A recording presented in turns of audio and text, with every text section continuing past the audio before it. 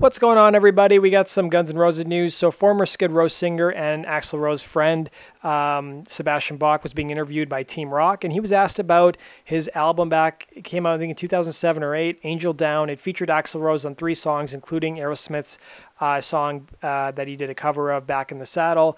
And he was asked, Did having Axl Rose on the album overshadow the rest of Angel Down? He said, Maybe. I think the music will last long after everyone has forgotten all the other stuff, what time he came on stage or whatever. Just to have his voice voice on those songs. That is what's about. And he says that people are fascinated by Axl, which of course they are, and he's able to fill out a stadium like the O2 Arena, you know, for and sell it out for two nights. So if you guys want to read the whole interview, it's down below in the description box. As you guys remember, Sebastian Bach joined Guns N' Roses in Vegas, and I won't be surprised if he'd be opening for Guns N' Roses because he has done so in the past on their uh, upcoming reunion tour dates. So that does it for today's news. Thanks for watching, guys, and make sure you subscribe. Take care.